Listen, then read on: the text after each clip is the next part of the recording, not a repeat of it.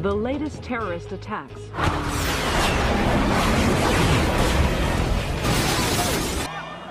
Hands up! I got this! Go inside and see how they're doing. Halo Bro Bre, kembali lagi bersama gue ABC Movie. Kali ini kita akan ngebahas film yang berjudul The Kingdom 2007 dan merupakan salah satu film terbaik tentang penangkapan teroris.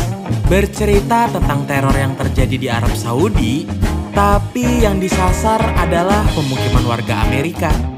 Oke, sebelum kita kalau ceritanya Bro Bre, eh, jangan lupa tombol merahnya itu dirubah menjadi warna abu-abu dulu ya Bro Bre.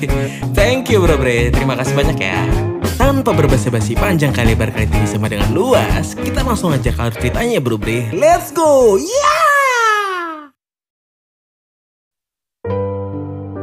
Film dimulai dengan sejarah kerajaan Arab Saudi yang terbentuk pada tahun 1932 setelah menaklukkan sebagian besar jazirah Arab. Setelah minyak ditemukan oleh Amerika dan kerjasama perusahaan minyak antara kedua negara terjalin, kerajaan Saudi membuat camp khusus ekspatriat barat, di mana hukum Islam tidak berlaku di situ. Lalu saat Amerika mendukung Israel dalam perang Arab-Israel, terjadi embargo minyak karena Saudi berhenti memproduksinya. Setelah ditekan kaum Wahabi yang anti Barat, mengakibatkan negara Barat merana hingga satu tahun lebih lamanya. Kemudian setelah Irak menginvasi Kuwait pada tahun 1990, Osama bin Laden menawarkan jasa perlindungan kepada Saudi namun ditolak. Karena di saat bersamaan Amerika juga menawarkan hal yang sama dengan kekuatan yang lebih besar. Penolakan itu menyulut Osama, sehingga selama tahun 1990-an, serangan-serangan teroris Al-Qaeda yang digawanginya merambat ke seluruh dunia. Puncaknya terjadi serangan 911 pada awal milenium kedua, di mana saat itu Arab Saudi telah menjadi produsen minyak terbesar di dunia, sedangkan Amerika pengkonsumsi terbesarnya. Kerajaan Saudi sangat mengutuk serangan itu, sehingga Osama menganggap Saudi sebagai musuh. Hasilnya, Al-Qaeda melakukan beberapa serangan telol boom di negara Arab Saudi, sekaligus memecah pihak kerajaan yang pro-Amerika dengan ekstremis Wahabi. Singkat cerita, selama pertandingan softball di Camp Al-Rahman, yaitu perumahan perusahaan minyak Amerika di Riyadh, teroris Al-Qaeda sedang mempersiapkan serangan teror selanjutnya. Mereka bahkan merekam proses persiapan itu, hingga dua orang teroris yang menyamar sebagai polisi membajak sebuah mobil patroli. Dengan mobil itu, mereka mengitari lapangan softball dan menembaki warga secara brutal.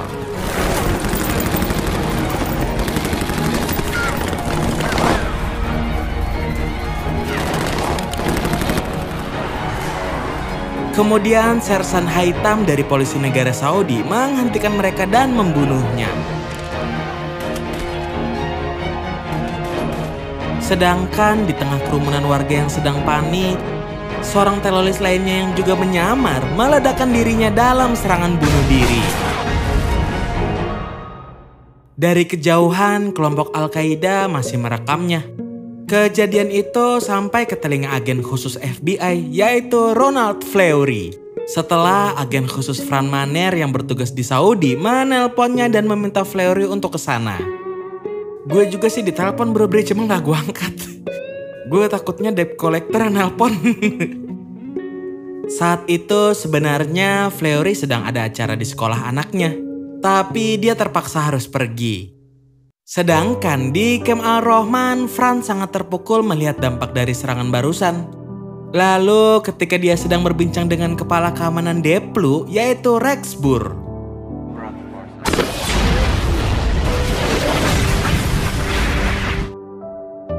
Di markas FBI, kita diperlihatkan Fleury langsung mengadakan rapat darurat setelah dua serangan di Camp Al-Rahman yang menewaskan total 100 korban jiwa termasuk Fran Maner. Kemudian Fleury memeluk dan membisikkan sesuatu kepada istri Fran, yaitu Janet Mayes, untuk menenangkannya. Kemudian Grand Skycast, seorang teknisi bom, menaksir daya ledak bom di serangan kedua yang menurutnya setara daya ledak militer. Dan seorang analisis intelijen Adam Leavitt menyarankan agar FBI untuk terjun langsung ke sana.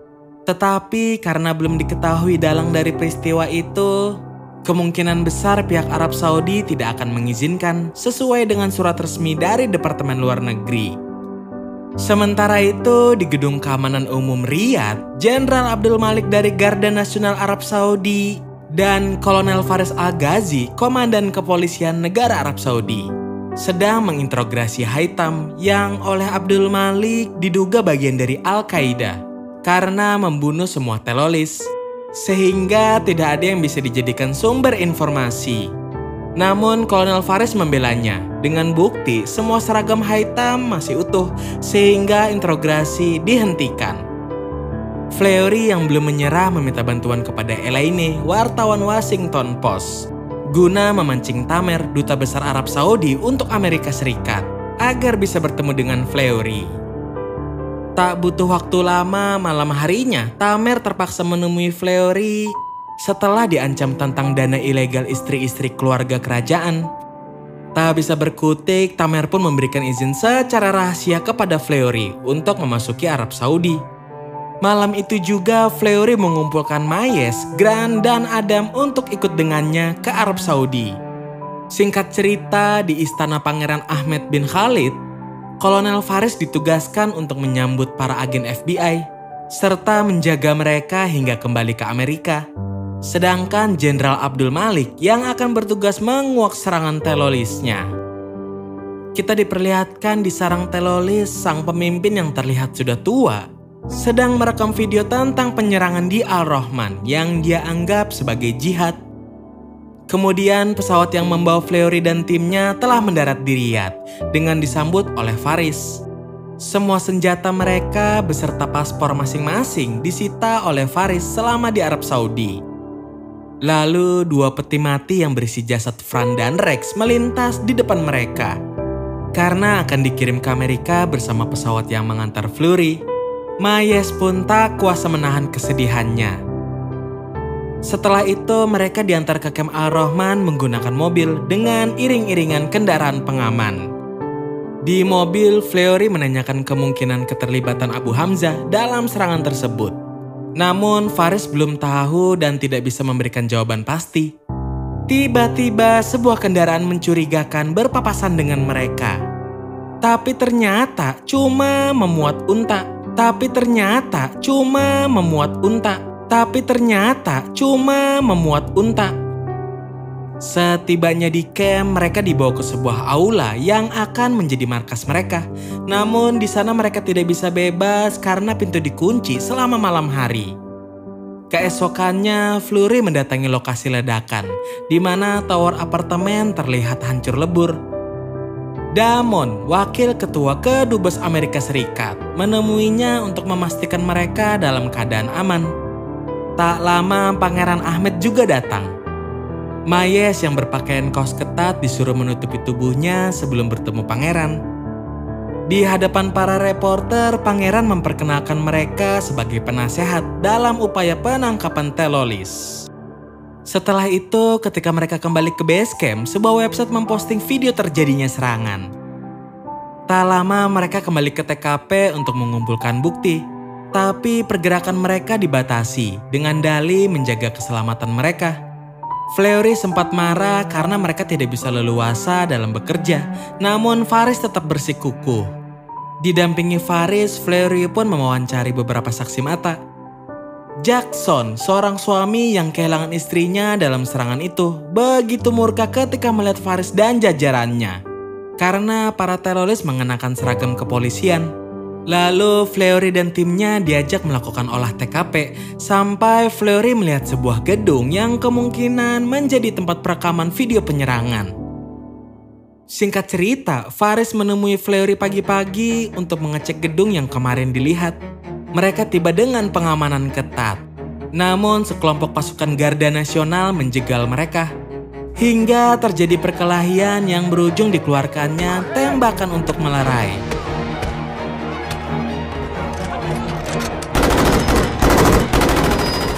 Tak lama Abdul Malik datang dan mengizinkan mereka untuk mengecek selama lima menit. Di atap gedung mereka mengkonfirmasi bahwa rekamannya berasal dari situ. Dan kemungkinan besar teroris ini adalah kelompok Abu Hamzah yang merupakan warga Saudi. Kemudian Fleury memberikan sebuah detonator yang dia temukan di lokasi ledakan kepada Faris untuk diselidiki. Sementara itu di markas Telolis, mereka sedang merakit bom untuk serangan selanjutnya. Di sana juga tertempel foto anggota tim Fleury yang akan menjadi targetnya. Sehabis mengecek gedung, Fleury dikawal helikopter mengunjungi istana Pangeran Ahmed atas undangan sang pangeran. Di sana, Fleury menyarankan agar Faris ditugaskan untuk memimpin investigasi menggantikan Abdul Malik dan membiarkan FBI membantu menangkap terorisnya. Keesokannya kita diperlihatkan tim FBI mulai melakukan penyelidikan dengan bebas di TKP. Grant memeriksa pusat terjadinya ledakan Mayes mengautopsi jenazah. Sementara Fleury kembali mendatangi saksi mata, di mana diketahui bahwa salah satu teroris yang menyamar adalah tukang kebun di camp. Hasil dari pengumpulan bukti, Mayes mendapati bahwa salah satu material bahan peledak yang ditemukan di tubuh jenazah adalah kelereng. Sementara Grant mendapati bahwa ambulanlah asal dari ledakan kedua berdasarkan rangka ranjang dorong yang dia temukan. Kemudian Fars dan Flurry mendatangi sebuah warnet untuk menemui Aldin, yaitu mantan anggota Al-Qaeda yang mendapat pengampunan dan kini bekerja untuk kerajaan. Faris pun menanyakan informasi mengenai detonator yang Flurry temukan. Menurut Aldin, hanya orang berpengalamanlah yang bisa mendapatkan detonator seperti itu. Orang itu kira-kira akan seusia dia, yang kemungkinan besar Abu Hamzah. Lalu Aldin menjabat tangan Fleury untuk menunjukkan jarinya yang putus. Dengan mengatakan para pembuat bom rakitan rata-rata memiliki luka sepertinya. Dan tanpa mereka ketahui, para teroris sedang bersiap menggunakan bom mobil. Di saat bersamaan, kepolisian berhasil mengidentifikasi dan menggerebek salah satu teroris yang bertugas mencuri ambulan dalam penyergapan itu. Beberapa teroris tewas di tempat. Tak lama pangeran datang bersama reporter untuk mengabarkannya. Damon juga segera ke lokasi untuk menyuruh tim FBI kembali ke Amerika karena menurutnya investigasi sudah selesai.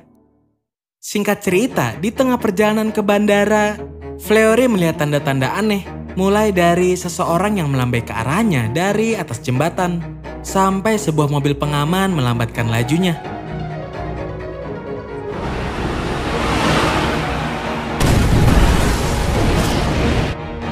Mengakibatkan kekacauan dan tabrakan beruntun.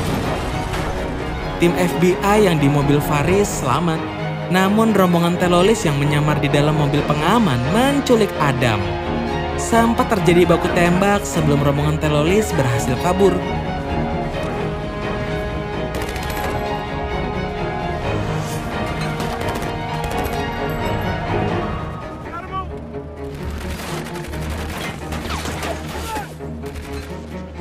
Faris pun meminjam mobil warga untuk mengejar para teroris bersama tim FBI. Selama pengejaran, mereka dibawa ke sebuah wilayah rawan.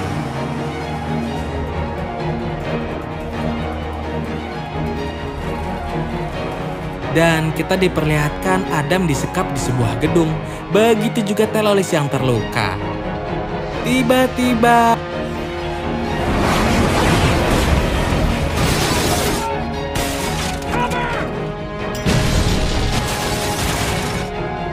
Setelah itu, mereka dikepung dan ditembaki oleh kelompok teroris. Tim FBI memberikan perlawanan hingga terjadi baku tembak di antara mereka. para teroris menambah kekuatan dengan menembakkan beberapa roket yang semuanya meleset.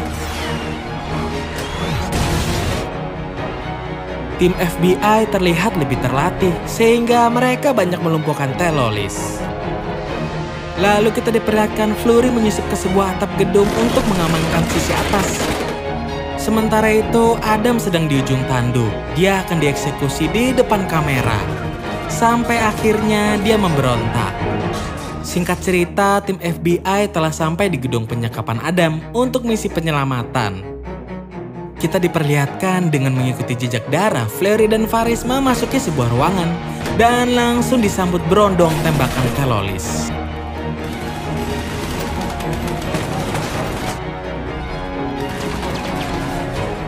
Lalu seorang gadis kecil tak sengaja membuka pintu dan menangis. Ketika Mayes secara refleks menodongkan senjatanya. Di dalam rumah itu, Mayes pun meminta maaf dan menyuruh mereka tenang.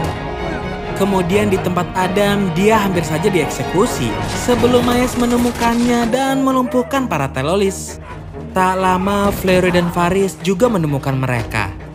Dan sebelum pergi, Mayes mendatangi rumah si gadis untuk memberikan sebuah permen. Sebagai imbalannya, gadis itu memberikan kelereng kepada Mayes, mirip dengan yang ditemukan di tubuh korban pemboman. Faris yang curiga menggenggam tangan si kakek yang ternyata Abu Hamzah karena beberapa jarinya putus. Tiba-tiba cucu laki-laki Abu Hamzah menembaki Faris dari belakang. Karena tidak mau menyerah, Flurry pun membunuh remaja itu. Abu Hamzah yang hendak melawan juga dilumpuhkan. Dalam keadaan sekarat, Abu Hamzah membisikkan sesuatu kepada cucu laki-lakinya yang lain. Sedangkan Faris meninggal di pelukan Flurry. Singkat cerita, kita diperlihatkan Flurry melayat ke rumah Faris sebelum kembali ke Amerika. Dia turut berduka kepada keluarganya Faris. Dan di hadapan anaknya Faris, Flurry mengungkapkan bahwa Faris adalah seorang pemberani sekaligus teman baiknya. Setelah itu, tim FBI meninggalkan Arab Saudi dengan diantar Haitam yang memberikan hadiah tasbih kepada Flurry. Singkat cerita, di markas FBI, Adam penasaran dengan apa yang dibisikkan Flurry ketika menenangkan Maya saat Fran meninggal. Di tempat lain, anak perempuan Abu Hamzah juga penasaran dengan apa yang dibisikkan Abu Hamzah kepada anak laki-lakinya.